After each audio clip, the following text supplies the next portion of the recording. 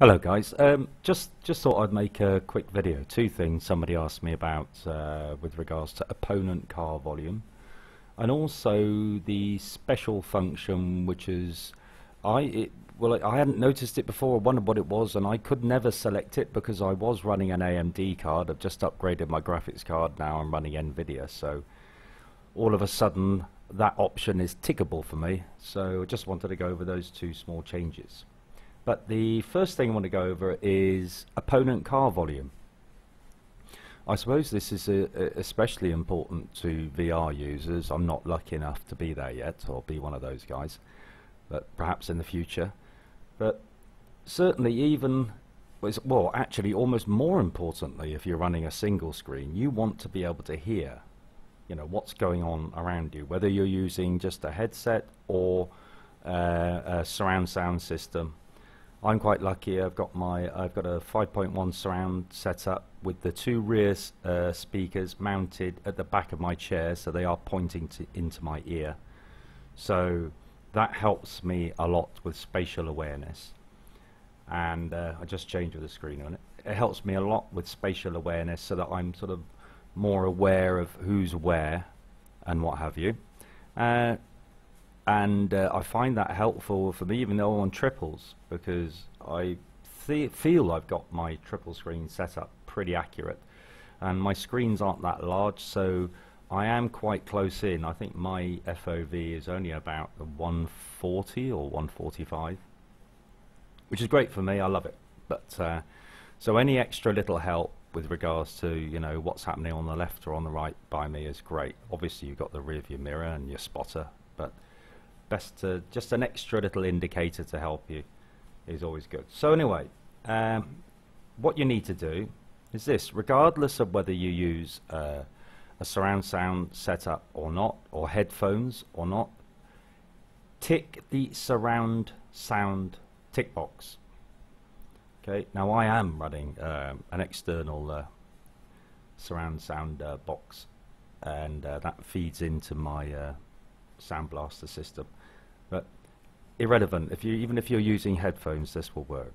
Okay, so make sure you tick surround sound here. Now all that means is iRacing is going to send out 5.1 channels of sound.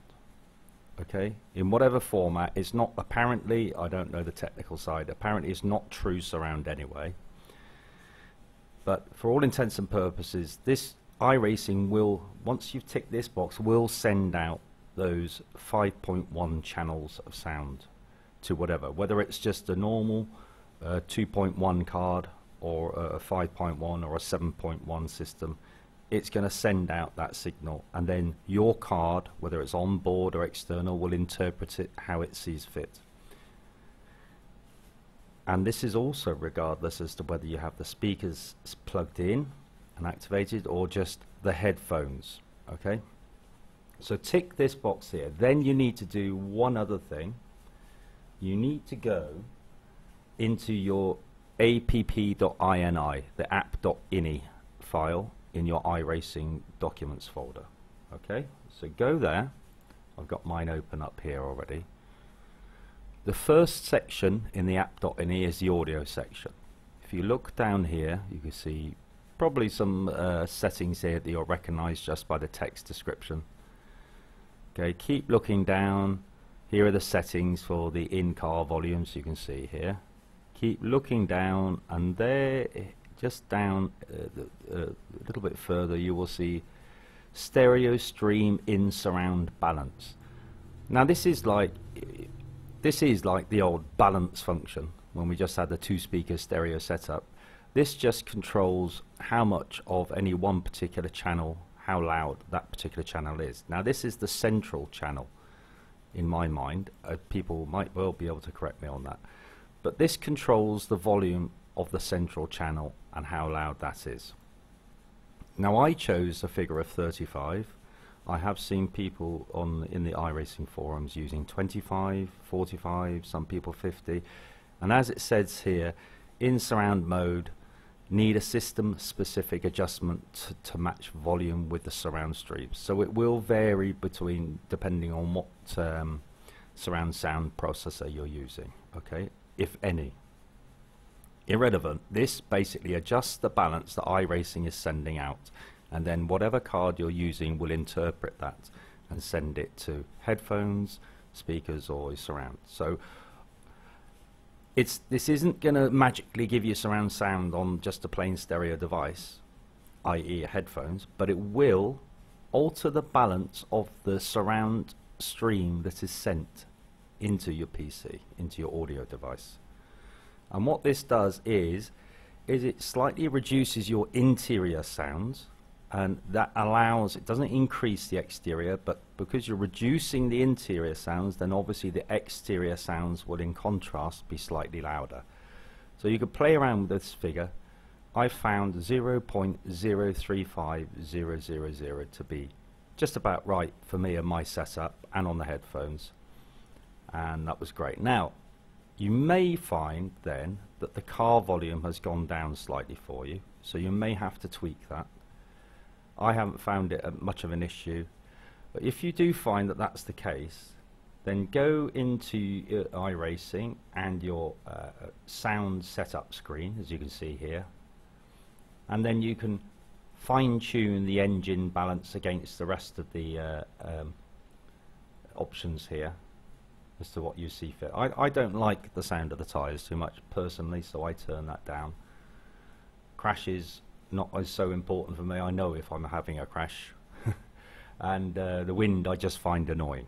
Okay, but engines, then you can sort of tweak it there, and also don't forget you can also um, adjust the uh, on a per car basis the in-car volume using the uh, camera editor by pressing control and F12 making sure you've already selected cockpit view otherwise you'll be editing another one and then you'll see mic gain there and you can adjust that slider up or down so that's the first little tip anyway for being able to hear opponent cars much better and that works for me now the other tip I have is for well it's not actually a tip it's just to make people aware of it.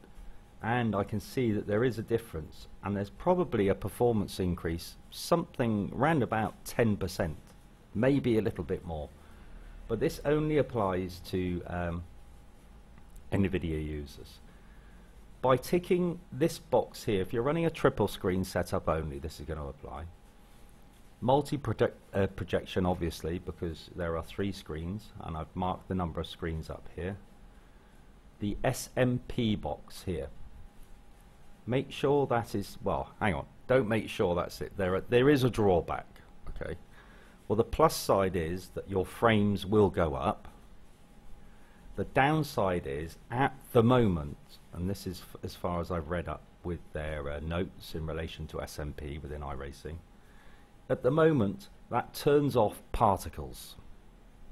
And in turn, turns down, not off completely. I've still noticed some particles hitting the bottom of the car, but it turns off the visual aspect of the particles for sure.